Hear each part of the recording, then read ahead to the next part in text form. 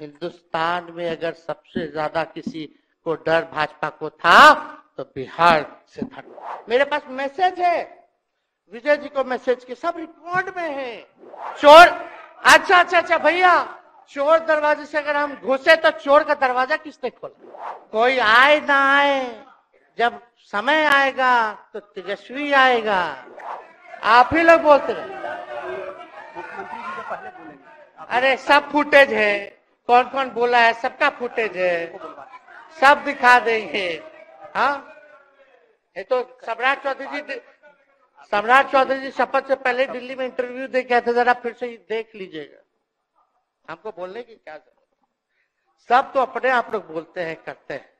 तो हम इतना कह रहे मुख्यमंत्री जी, कि कुछ भी लोग किया, भाजपा इतनी डरी हुई थी अब हमारे गठबंधन से, महागठबंधन से। आज मजबूरन।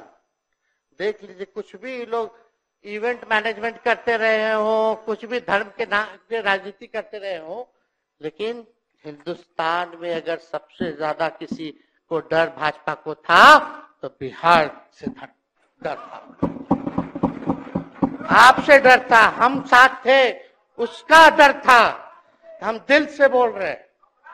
और मुख्यमंत्री जी शांति शांति। आपको चिंता करने की ज़रूरत नहीं है। आप हम जब हेल्थ मिनिस्टर थे तो दो तीन कैबिनेट से फ़ाइल अटका पड़ा है भाई हेल्थ पब्लिक हेल्थ कैडर का जिसमें स्वास्थ्य विभाग के कर्मियों का हमने बोल दिया कि एक लाख तीस हज़ार लोगों का वैकेंसी का है वो करवा दीजिए करवा दीजिए कितना बार हम फ़ोन करें। मेरे पास मैसेज है। विजय जी को मैसेज के सब रिकॉर्ड में है। प्रत्यय अमृत आपके होनार अधिकारी हैं, उनसे पूछिए। दीपक जी से पूछिए। हम आपको कई बार बोले, विजेंद्र यादव जी को बोले, विजय जी को बोले कि कम से कम ये वाला पब्लिक हेल्थ केयर जो हम कर दिए हैं और ये कैबिनेट ही में नहीं आ रहा है, कम से कम इस पे तो कीजिए, लोगों को बहाली होगी, रिक्त पदे हैं, भरा जाएगा, काम किया जाएगा, मैसेज लोगों का अच्छा जाएगा। यही तो एजेंडा था।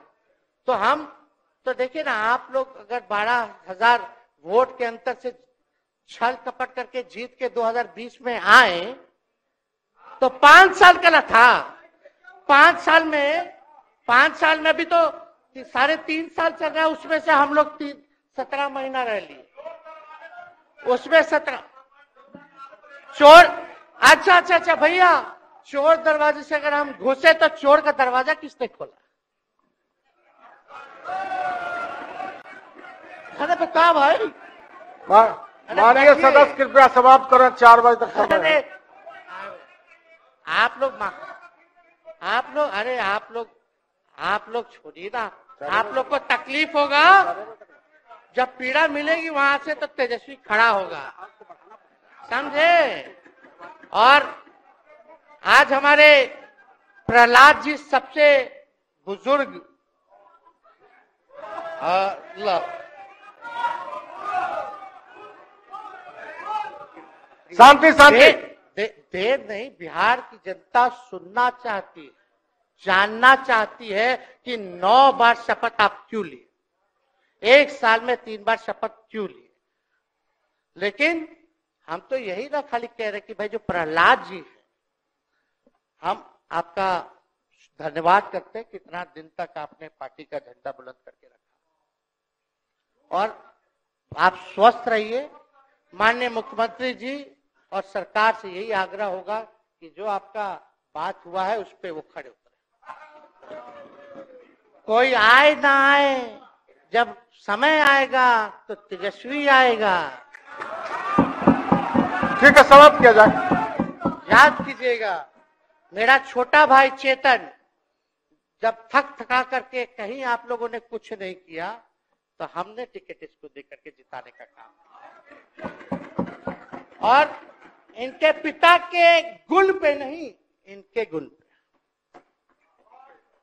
नौजवान लोग रोड मैप है, लंबा चलना नया टीम बनाना है। नौजवानों को हम लोगों ने टिकट दिया। नौजवान आए, राजनीति में, राजनीति करे, सकारात्मक राजनीति करे, बिहार को आगे लेकर के जाए। थका हुआ लोग नहीं चाहिए था हमको। लेकिन हमको पता है क्या क्या मजबूरी है। ये कोई नई बात नहीं है, बहुत दिनों से पीड़ित है और इस पीड़ा में कहीं भी रहे, हम इसके साथ हैं। और नीलम जी, जो आप महिला हैं, आपने जो निर्णय लिया, हम स्वागत करते हैं।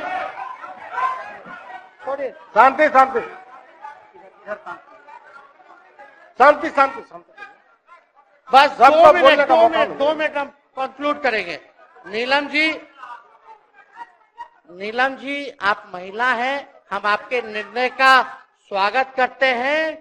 बात बने ना बने बाद में हमको ज़रूर याद कीजिएगा। और एक काम और मुख्यमंत्री जी हमने फ़ाइल कर दिया था आगे भी बढ़ा दिया था। विजय बाबू देख लेंगे देख लेंगे। देखते ही रह रहे अभी तक फैलवा करवाए नहीं के कैबिनेट में। तो जीविका लोगों का तो आशा दीदी लोग का मानदेय वाला, करवा दीजिएगा, आशा ममता। हम लोग के सरकार में, हम लोग सबका राय बना था, जिसमें जितने आप लोग सब लोग मीटिंग में थे, सब लेफ़्ट के पार्टी सब नेता को आप बुलाए थे, इसमें आपका भी निर्णय था, हम नहीं मना कर रहे आपका काम किया है उस पर हम उंगली नहीं उठा रहे। आपने काम किया मानदेय बढ़ाया। हम लोग का भी साथ रहा। हमने भी बोला कि भाई ये कर रहे हैं ये भी कीजिए ये भी कीजिए। जो जितना मुँह था उतना हम कहते थे इज़्ज़त सम्मान। से ठीक है ठीक। अपने मुँह से ज़्यादा हम नहीं कहते थे।